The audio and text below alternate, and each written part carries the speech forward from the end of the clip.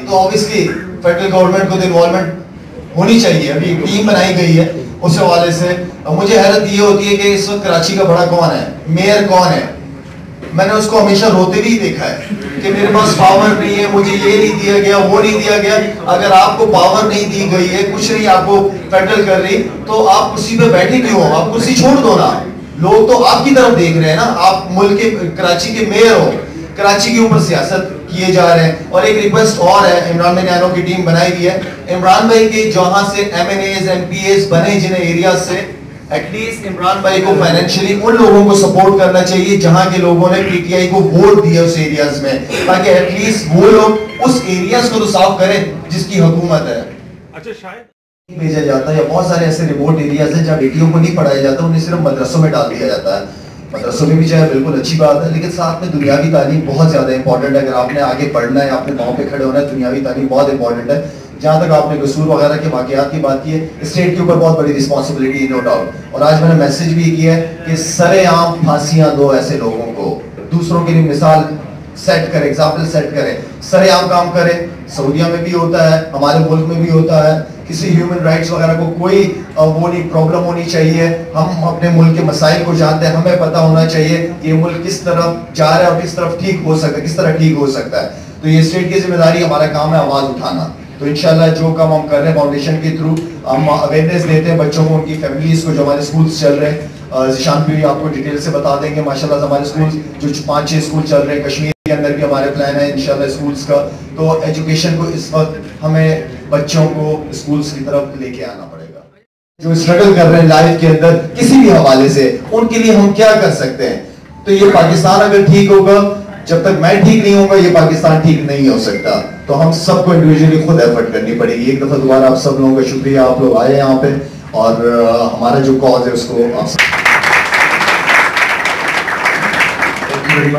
اور اس پہ آئے آپ سے روز صبح اٹھ کے پوچھنا چاہیے کہ آج میں کیا پورے دن میں ایسا کام کر سکتا ہوں جس سے میرے گھر والوں کو میرے جو لوگ ایسے لوگ ہیں جو اسٹرگل کر رہے ہیں لائف کے اندر کسی بھی حوالے سے، ان کے لیے ہم کیا کر سکتے ہیں؟ تو یہ پاکستان اگر ٹھیک ہوگا، جب تک میں ٹھیک نہیں ہوں گا، یہ پاکستان ٹھیک نہیں ہو سکتا۔ تو ہم سب کو انڈیویجولی خود ایفرٹ کرنی پڑے گی۔ ایک دفعہ دوبارہ آپ سب لوگوں کو شکریہ، آپ لوگ آئے ہیں یہاں پہ اور ہمارا جو کاز ہے، اس کو آپ سپورٹ کر رہے ہیں۔ تھینک یو فاؤنڈیشن کا ایک بہت زبردست اور اسٹریٹجک قسم کا وینچر لانچ ہونے جا رہا ہے۔ سو دا آئیڈیا از کہ کریم کے دو انیشیٹیوز ہیں۔ One is build Pakistan and دوسرا از آر لائلٹی پروگرام اس کے اوپر دا آئیڈیا از کہ کریم جس طرح بھی ہیلپ کر سکے کمیونٹیز اپنی کمیونٹیز کو امپاور کرنے کے لیے، ان کو بے ذیشان اینڈ جب شاید افریقی فاؤنڈیشن کا ہم نے ویژن دیکھا ہے سو دیئر بہت ساری چیزیں ایسی تھیں جو کہ which resonated with us we realized کہ they are putting a lot of effort uh, to روزگار ہے الحمدللہ ان کی ایفرٹ سے بہت سارے بے روزگار لوگ روزگار پہ آ گئے ہیں واپس جو فاؤنڈیشن ہماری کر رہی ہے ایکٹیویٹی جو سب کو آپ لوگوں کو پتہ ہے کافی عرصے سے ماشاء اللہ چار سال چار سال ہو گئے اس چیز میں ہم انوالو ہیں ذیشان لوگ اور ان کی پوری مینجمنٹ میں شکریہ بھی ادا کرتا ہوں. اور یہ اور ہم ایک ہی پیج پہ ہیں. تو چیزیں بہت ساری ایزی ہو جاتی ہیں کہ ہمارے گولز ہم جو کرنا چاہتے ہیں کمیونٹی کے لیے اور یہ جو کرنا چاہتے ہیں، وہ ایک ہی چیز ہے. تو وائی ناٹ کہ اس کو مل کے کیا جائے تاکہ چیزیں ایزی ہوں. تو تھینک یو سو مچ آپ لوگوں کا. آپ کی پوری مینجمنٹ کا بہت بہت شکریہ. اور انشاءاللہ، پاکستان، ہم سب کا پاکستان ہے. یہی ملک ہے، یہی ہماری عزت ہے، یہی ہماری پہچان ہے. اسی ملک کو ہم سب نے ساتھ لے کے چلنا ہے۔ آئی نو تھوڑے مشکل سچویشن میں سے پاکستان اس وقت گزر رہا ہے، لیکن اس وقت ہر ایک بندے کی رسپانسبلٹی ہے۔ بڑا ایزی ہوتا ہے گورنمنٹ کی طرف انگلی اٹھانا۔